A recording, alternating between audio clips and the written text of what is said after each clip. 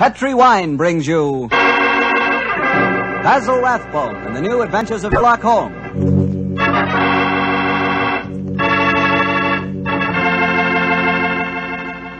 The Petri family, family that took time to bring you good wine, invite you to listen to Dr. Watson tell us another exciting adventure he shared with his old friend, that master detective, Sherlock Holmes. And say, if you'd like to try a new adventure in good eating, will you just make sure that your dinner tomorrow includes a bottle of Petri California Burgundy? Petri Burgundy is the ideal wine with any kind of meat or meat dish. That Petri Burgundy is a hearty wine, just as rich in flavor as it is in color. It's the perfect companion to a thick, juicy steak or a piping hot pot roast or a good hamburger. You know that Petri Burgundy has a happy faculty of turning a simple meal like, say, a hamburger sandwich into a feast. Believe me, here is a wine that's clear, fragrant, and delicious. A wine that you can serve to your friends proudly. Petri Burgundy. Remember, the name Petri is the proudest name in the history of America's wines.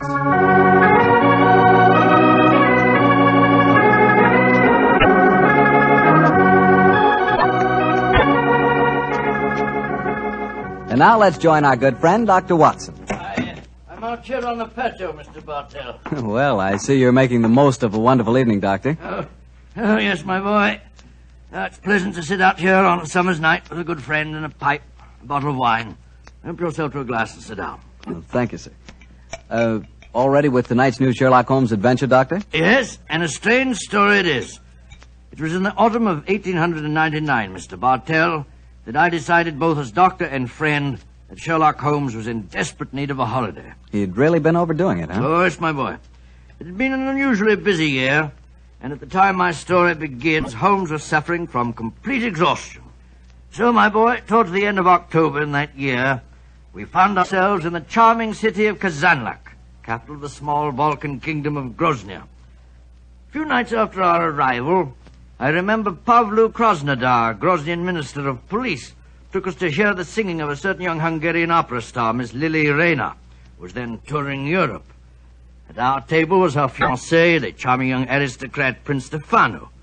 And it was very easy to see as he sat there listening to the song that the boy was head over heels in love. It was a haunting melody that she sang, Mr. Bartell. I can almost hear it now.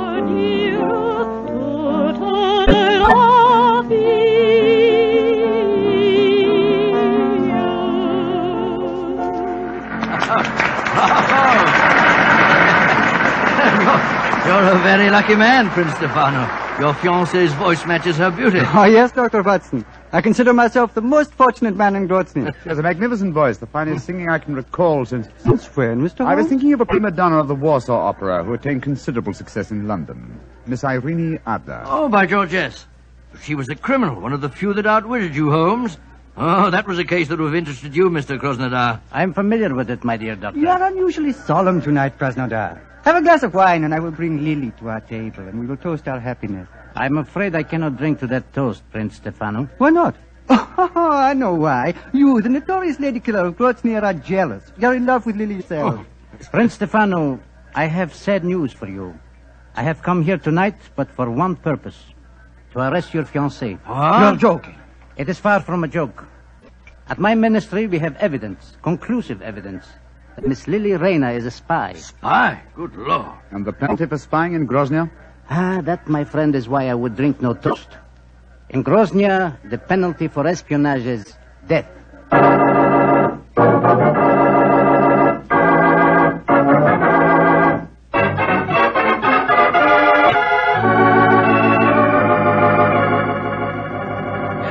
Yes, I know, but Holmes, you must do something to save that girl. You can't just turn in for the night without trying to help her in some way. They might shoot her in the morning. Krasnodar's no fool. Since he's made the arrest, obviously he has a watertight c- case against the girl. Uh, I suppose so. oh, oh, oh, one last pipe. You know, Holmes, I couldn't understand her fiancé's behavior. He didn't do a thing. Just stood there and let Krasnodar arrest the girl. Ah, what could he have done? Krasnodar is commissioner of police. There was no point in arguing with him until the evidence had been examined. Hmm. I imagine the prince will try and pull some political strings. After all, Groznia... Come in, come in. Oh, who's this now? Oh, you wish to speak to me?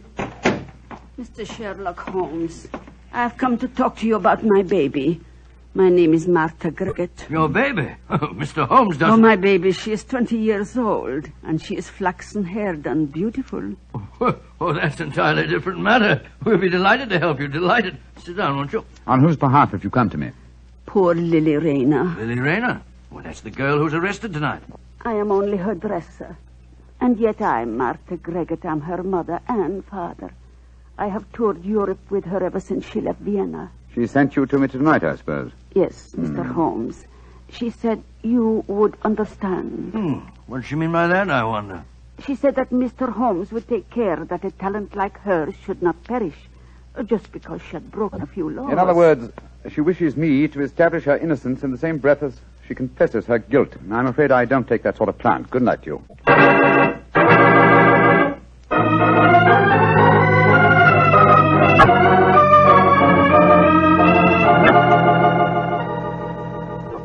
Mr. Holmes, Dr. Watson, Krasnodar? I am glad that you came to my office this morning. I can show you the proof of Miss Lily Rayner's guilt.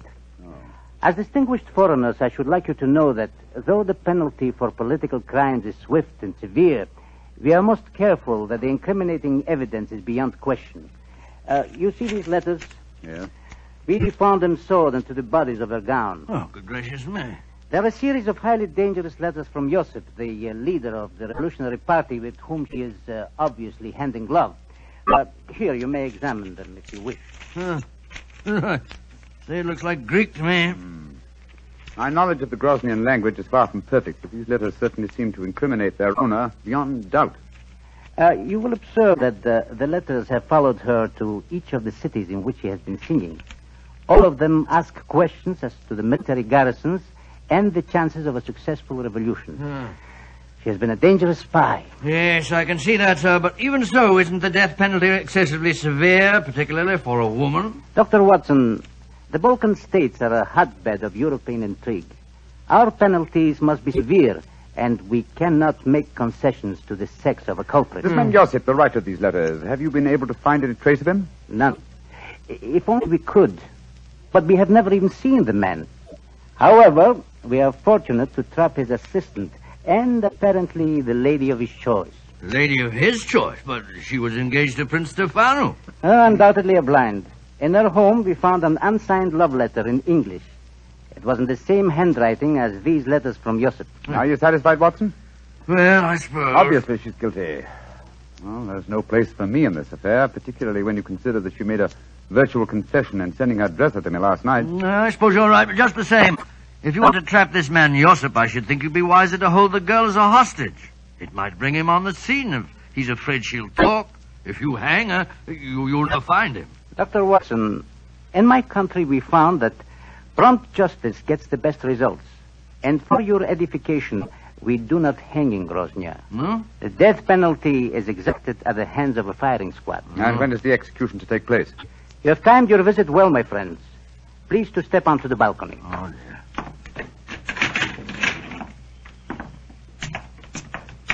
I uh, think that answers your question, Mr. Holmes. Great Scott. Against the wall, blindfolded, with a firing squad before her.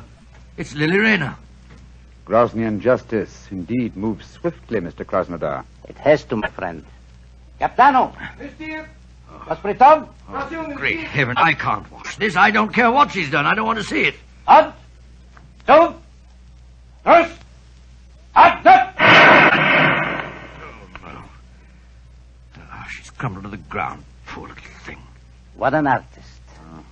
Hard to see a woman executed even if she is a spy. May all traitors to Groznia die swiftly. Oh, But what a loss. Her beautiful voice. Yes, her beautiful voice. Uh, shall we go in, gentlemen?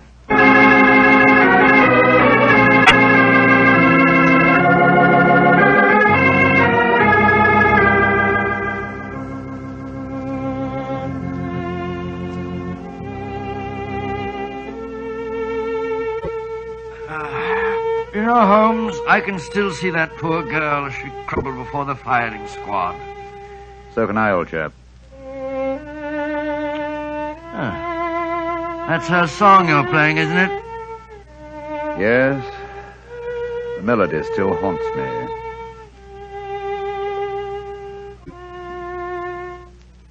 You blame me, don't you? Uh, uh, blame you for what? For not preventing her death. No, of course I don't blame you, Holmes.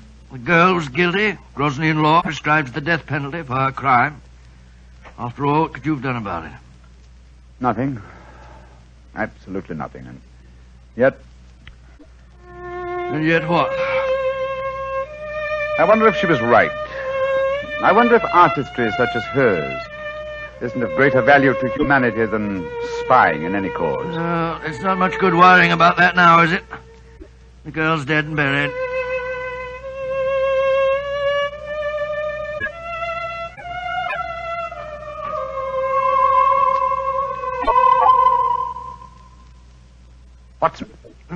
What's the matter, Holmes?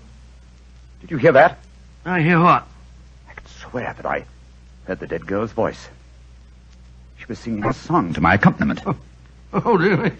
Your nurse must be in a very bad state, Holmes. Hearing voices indeed. You'd better turn in for the night. Perhaps. It's a.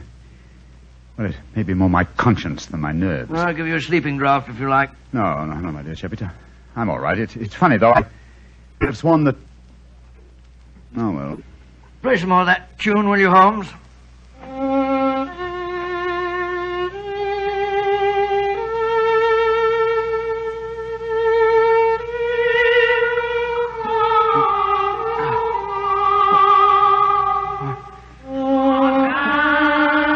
Great heavens!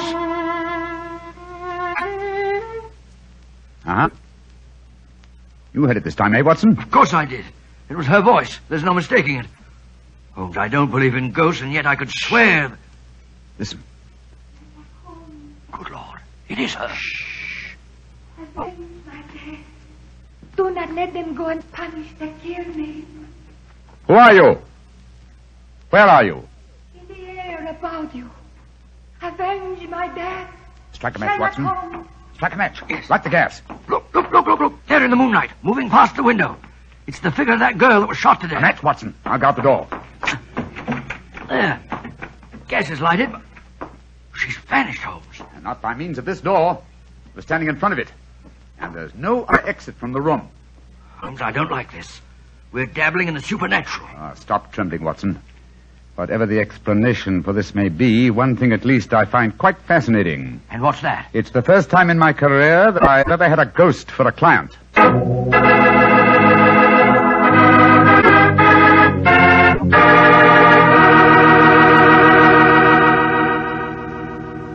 Dr. Watson will tell us the rest of his story in just a second, so I'm just going to tell you about a wine that adds the perfect finishing touch to a good meal. Petri California Muscatel. With its sunshiny golden color and its full aroma, you just know Petri Muscatel is going to taste good. And it really does. Ah, the flavor of big plump muscat grapes picked when they're full to bursting with luscious juice.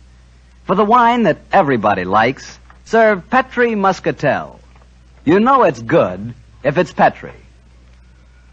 Well, Dr. Watson, so you had a ghostly visitor calling on you at the hotel that night, huh? Yes, my boy, and I confess I was so badly shaken by the experience that I, my heart slept a wink all night. Well, the next morning, after an early breakfast, Holmes and I located the proprietor of our hotel and began to question him as to the history of the building. I've admired the architecture of this building ever since you, uh, ever since we came here. A house of this period would uh, undoubtedly have been built with secret passages and staircases. I confess that I know of one secret staircase there. There may well be others. Indeed, and um, where is the one you know of? Do you wish to explore it, gentlemen? Oh, very much. My friend and I are most interested in such things. Uh, Follow me, please. Uh, these stairs lead to our wine cellars. Thousands of feet have tramped up and down these steps. Only a select few know that behind this tapestry here. Uh, behind this tapestry, gentlemen, is apparently a solid wall. But the wall is not solid. Uh, you have a match, perhaps. Oh, yes, of course. Here you are. Uh, we keep a candle here in this niche for just such an occasion as this. Uh, so, please hold back tapestry, sir. Oh, I, I've got it. Thank you. Now, let me see. One, two, three, four. The fourth brick up from the stair. I press it so, and. Ah, Look, Holmes. Great Scott, a section of the wall swinging out. It's closing a stairway behind it. Ingenious. there, gentlemen.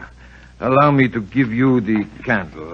But uh, aren't you going to lead the way? Uh, no, sir, I'm not going to lead the way, thank you. I have owned this hotel for 32 years, and yet I have never explored this stairway. I... Why, sir? Is it reputed to be haunted? Yes, it is supposed to be haunted. I, uh, the candle, Mm, gentlemen. Thank you. Yes, I'm much obliged to you. Come on, Watson. Uh, I shall wait here. I don't think I care for this, Holmes. Quite pretty dark in here. Damp and mouldy, too. Look, Watson. Look here. Where? This landing. Landing. Well, nothing but dust, dust and cobwebs. A closer, old chap. There's the faint imprint of a woman's heel here. Oh, by George, yes. Shoes that have gone both up and down these stairs in the last 24 hours. Exactly. And there's a reverse print over here. This, my dear chap, I think accounts for the appearance and disappearance of our visitor last night. Yes, but Holmes, it was the singer, Lily Rayner. Yet we saw her shot yesterday morning. Rubbish, Watson, rubbish. What have we to do with walking corpses? Come on, old fellow. Let's see where this stairway leads us to. No, but then what did we see if we didn't see a ghost last night? That, my dear chap, is what we have to find out. hmm Wait a minute. Staircase ends here. That's Oh, strange. Yeah, against a blank wall. That doesn't make sense. And yet the entrance to this stairway was an apparent blank wall, too, remember? Let's see if the same formula will do the same trick here. Uh, what was it? Oh, yes. One, two, three, four. Yeah, four bricks up from the step. I press so and... Open sesame! wall swinging back again. What do we see? Another tapestry. A tapestry that uh, is very familiar. Well, I should say so. This hidden door leads into your very own bedroom. exactly, my dear chap. Now we know beyond doubt how the apparent ghost made her appearance last night. Don't you suppose it must have been someone impersonating the dead That, girl? my dear fellow, is a question that can only be answered by calling on her fiancé, Prince Stefano. Let's go over and see him at once, shall we? Uh,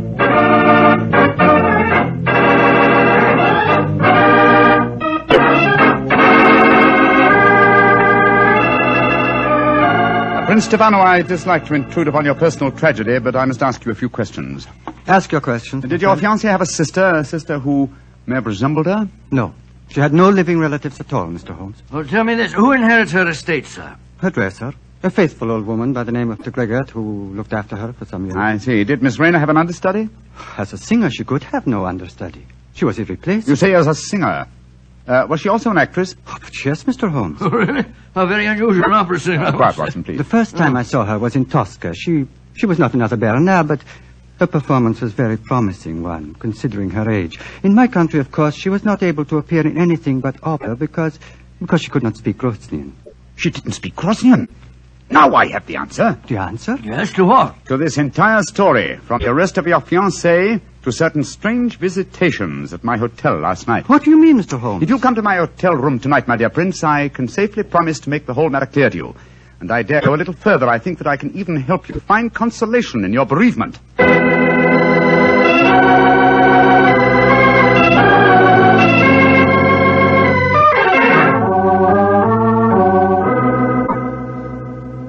Ladies and gentlemen, I can see that you wonder why Dr. Watson and I have asked you to come here to our hotel tonight. As Minister of Police, I should be stupid if I did not realize that since your other two guests are the Prince Stefano and Martha Gregor, the dead girl's dresser, that this meeting has some bearing on the execution of Miss Lily Rayner. I should prefer to say her murder. Uh, ladies and gentlemen, if you please, I should like to make my own position in this matter quite. Two nights ago, you, Martha, came to me on behalf of Miss Lily Rayner to solicit my aid. I, convinced that she was guilty, refused that aid. Yesterday morning, she died before a firing squad. Last night, her ghost appeared to me here in this room and asked me to avenge her death. Her ghost? What nonsense are you talking? It would be no surprise to me if her poor murdered soul came back from the grave to ask for justice, sir. I saw her, my good woman, almost as clearly as I see you all now. I agree with Krasnodar. To talk of ghosts is beyond Uh, belief. please let finish. When I had this, visitation last night, I decided to investigate the case thoroughly. I did so today, and I can assure you that Miss Rayner paid for a crime she did not commit. What grounds do you have for saying that, Mr. Holmes? The letters that were supposedly written to her were in the Groznian language, and yet today Prince Stefano informed me that she could not appear in the theater here because she did not speak the language. Those letters were sewed into her bodice hole. That's true, my dear fellow. And who was the only person who had the opportunity to do that? The same person who came to me two nights ago and succeeded in convincing me that Miss Rayner was guilty, her own dresser and supposed friend. Are you suggesting that I'm I... suggesting that you inherited her estate on her death. And that you would have lost that inheritance if she had married and had a family of her own. What do you have to say in answer to that, Martha? That I am among madmen. This talk of ghosts proves it. Very well, then. Let the ghosts support my theories. Hand me the violin, will you, Watson, old fellow? Oh, yes, of course. Thank you. Now, turn down the gas light. Right you are. That's it. And listen.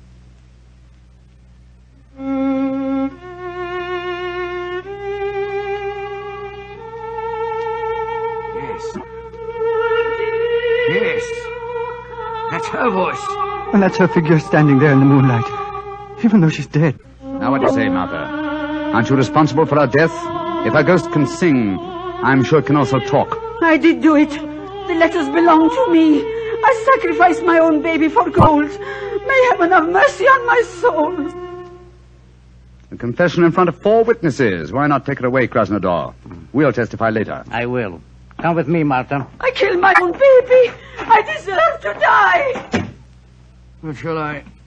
Shall I turn up the gas, Holmes? Ask Prince Stefano. No. Do not turn it up. I've seen, heard the ghost of my beloved when the lights were down. I'm not afraid. Please play her melody again, Mr. Holmes.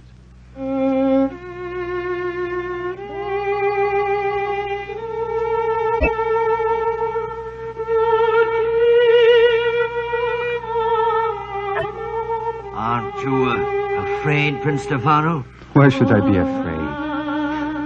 Lily, my beloved, your spirit I know can be no evil one. I love it. I love you living. The pleasure of love lasts but an instant. Love's regrets last for a lifetime. This is now my lifetime, brightened by your gracious ghost. I'm sure this is a very touching scene, but it's getting uh, dreadfully maudlin. All right, Miss Rayner. You may come from behind the tapestry now. What's Watson, old chap, turn up the gaslight. There's a good fellow. Right you are, Holmes. Prince Stefano, permit me to reintroduce you to your far from ghostly fiancée, Miss Lily Rayner. Lily, my beloved, you, you're not dead. No, I am not dead. Though I cannot see how Sherlock Holmes fathomed my secret. Hmm. And there, my dear young lady, you're in exactly the same boat as I am. Surely the answer is obvious. You gave me the key yourself, Prince Stefano. Did, but how, Mr. Holmes? When you informed me that Miss Rayner had once played the title role in Tosca, Tosca, what's that got to do with anything, consider Holmes? the plot, Watson. A minister of police who is very susceptible to a lady's charms arranged a false execution. Knowing Mr. Krasnodar's weakness, Miss Rayner, you prevailed upon him to do likewise. Huh. Well, then the whole execution was a piece of pantomime. The rifles must have contained blanks. That's right, old fellow. And what should have heightened my suspicion, Miss Rayner, was the fact that at the moment of your apparent death, Mr. Krasnodar quoted a line from Tosca. He said, What an artist. I was not perceptive enough at the time to evaluate the remark correctly, I'm afraid. When the simulated execution took place, you were free, but uh, assumed dead. But why should I indulge in such a trick, Mr. Holmes? You reasoned that um, had you come to me directly, I might easily have turned you over as a fugitive from justice. And when you decided to dramatize the situation and appear last night as an apparent ghost, you knew it would, oh, well, at the very least, stimulate my curiosity. It will cause me to investigate the matter and possibly to learn the truth and clear you from suspicion. Well, yes, but Holmes, if, if she's innocent, how about the, the love letter in English, which was in the handwriting of Josip, the revolutionary leader? Well, I can see only one explanation for that. You, Prince Stefano, are that mysterious revolutionary Josip. Stefano! Oh, no, no, that is not possible. Mr. Holmes, you're a visitor in my country. I do not suppose you will be staying here much longer. Stefano, all these months you deceived me. Silence, Lily. Gentlemen, I hope for your own sake you will not be staying here much longer. Oh. I've been threatened by far more imposing adversaries than you, Prince Stefano. I suggest that you leave my room. It's none of my business dabbling in Groznian political affairs. Your secret is safe. In any case, I came to Groznia for a holiday. Goodbye. Goodbye, Mr. Holmes. On my soul, Holmes, if we were in London, you wouldn't behave in this offhand way. But we're in Groznia, old chap, aren't we? Hand me the violin, will you? All right, here you are. Thanks. You know, Watson, uh, I've only had professional dealings with two singers in my life. The first was Irene Adler, and she fooled me, oh, so cleverly. And this singer tried to fool you and failed dismally. Seems to me the score's about even. No, oh, chap, no. This one was an amateur. Irene Adler will always be the woman. ah, well, I think that's enough excitement for one day, don't you? After all, I am supposed to be taking a holiday.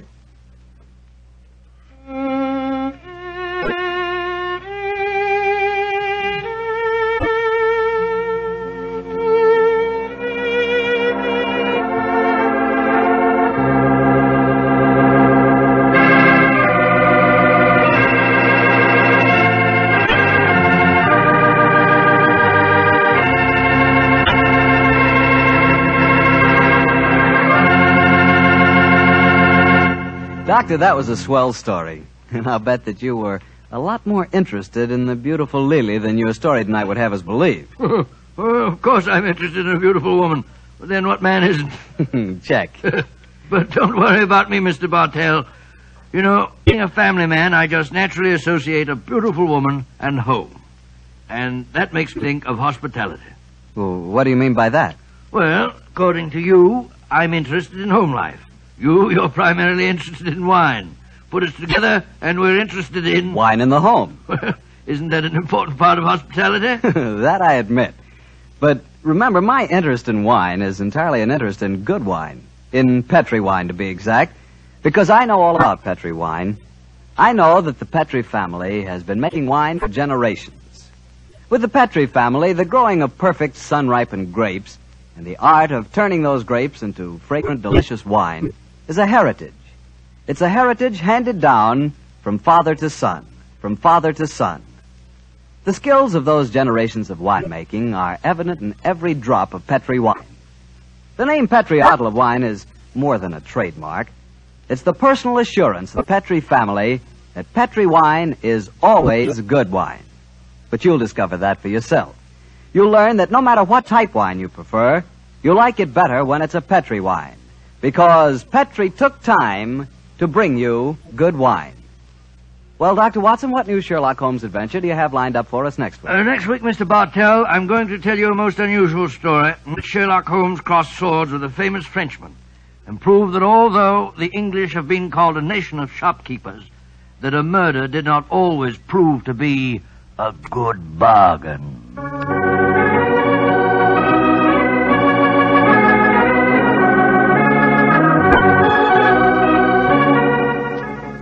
Tonight's Sherlock Holmes adventure was written by Denis Green and Anthony Boucher and was suggested by an incident in the Sir Arthur Conan Doyle story, The Sussex Vampire. Music is by Dean Fossler. Mr. Rathbone appears through the courtesy of Metro Goldwyn Mayer. And tonight, Dr. Watson was played by Mr. Joe Kearns, who substituted for Mr. Nigel Bruce. Mr. Bruce is scheduled to return to the program next week.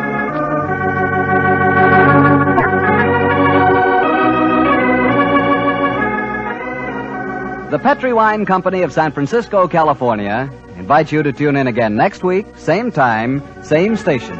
Sherlock Holmes comes to you from our Hollywood studios. This is Harry Bartell saying goodnight for the Petri family. For a solid hour of exciting mystery dramas, listen every Monday on most of these same stations at 8 o'clock to Michael Shayne, followed immediately by Sherlock Holmes.